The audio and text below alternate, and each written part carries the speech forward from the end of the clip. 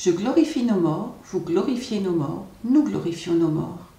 Cette expression prend tout son sens au vu de la loi numéro 15135 du 25 octobre 1919.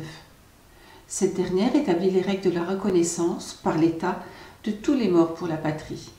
Les listes des morts sont établies et des livres d'or sont rédigés. Les subventions sont accordées et des monuments sont érigés. Un oubli cependant. Dans cette loi, il n'est nullement question de l'aéronautique. Heureusement, ces personnels, volants ou non, n'ont pas été oubliés. La rédaction des livres d'or, réalisée à partir de la liste des morts pour la France, a été longue et fastidieuse. Entre les noms proposés par les mairies et ceux notés et acceptés par l'Office national des anciens combattants, il a été difficile de statuer.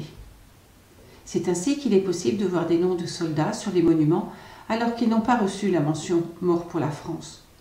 Dans le cœur des habitants des villes et des villages, peu importe, ils sont partis à la guerre et ils ne sont pas revenus.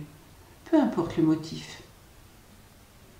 Les financements des monuments aux morts ont été possibles grâce à des souscriptions publiques et des investissements communaux.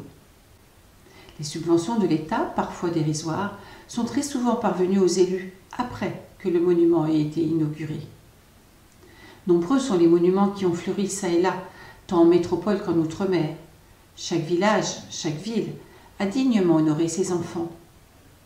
Le centenaire de la Première Guerre mondiale de 2014 à 2018 a aussi permis à la commune qui n'avait pas eu les moyens financiers un siècle plus tôt d'ériger un monument, rappelant ainsi que le souvenir perdure, que la mémoire n'oublie pas. Si en 1919, les habitants des communes pouvaient parler de ceux dont les noms sont gravés pour l'éternité sur les dix monuments, il n'en est pas de même aujourd'hui. Combien de familles, pères, fils, frères, cousins, beaux-frères sont rassemblés sur cet ornement public? Aujourd'hui, les descendants se sont éloignés les uns des autres, mais leurs ancêtres sont toujours là, assurés que nous ne les oublierons pas. C'est là que l'auteur du XXIe siècle a un rôle à jouer, celui d'étudier à la loupe ces hommes, un à un, tant dans leur vie personnelle que dans leur vie militaire.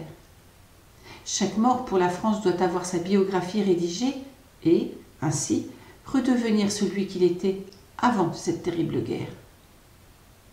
Si la loi ne parle pas des victimes civiles, certaines ont tout de même reçu la mention mort pour la France et ont leur nom gravé à côté de ceux des militaires.